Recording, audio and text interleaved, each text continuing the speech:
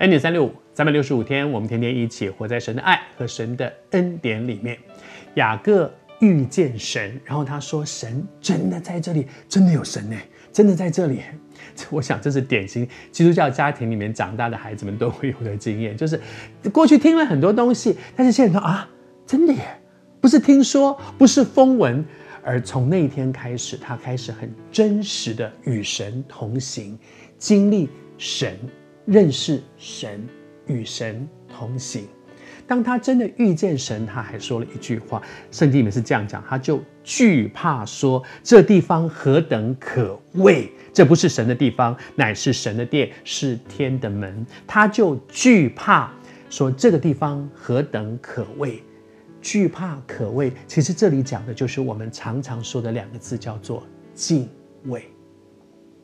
我真的相信，当人真的遇见神，人就会敬畏神。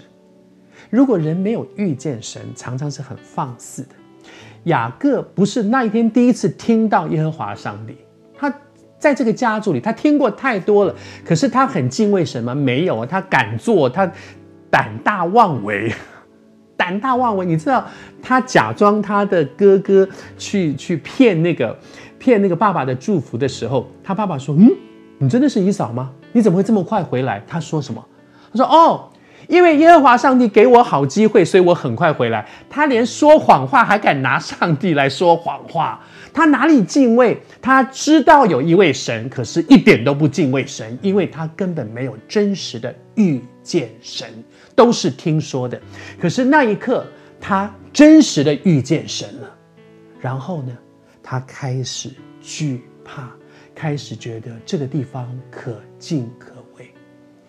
其实我常常为教会的各个聚会，不管是主日敬拜，不管是小组，不管是祷告的聚会，或者是任何一个培灵会、布道会，任何一个聚会，我觉得最最重要的一件事情，就是人来到这个聚会里要遇见神。当人真的遇见神，人就会敬畏，因为这位神是可敬可畏的神。如果人来到教会聚会，没有真实的遇见神，遇见的都是哦，台上敬拜还能今天唱的好不好？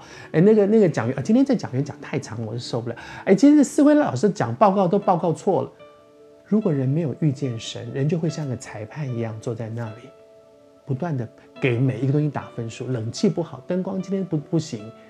但当人真的敬畏神的时候，你不会管灯光，不会管音，你连带敬拜的人走音对你来讲都不重要，因为神在这里。